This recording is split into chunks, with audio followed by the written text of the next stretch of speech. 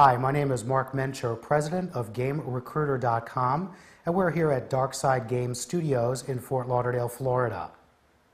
For video game production, there are several careers as well. Most people start off as an assistant producer uh, and work themselves up to an executive producer, which is at the top of the food chain. Uh, it's a great job to com- come into from the quality assurance department, so many folks from QA will move into associate producer positions.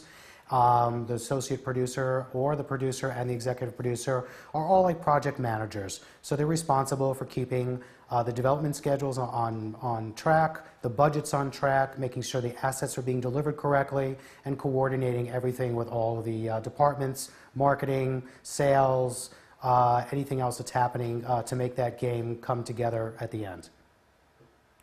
Producers need to have the ability to direct uh, a project.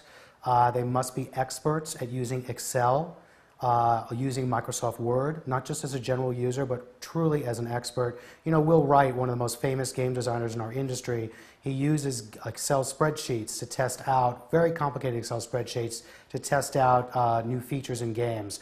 Producers need to have that ability as well. They need to be able to schedule out projects and know what's happening all the time. Scrum Agile techniques are also used, so they need to be familiar with uh, Agile development techniques. And uh, PPM certification is becoming uh, important in our industry as well.